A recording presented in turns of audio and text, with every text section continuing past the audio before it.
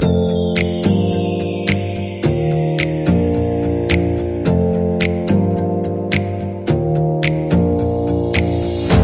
your eyes for a minute, close your eyes for a second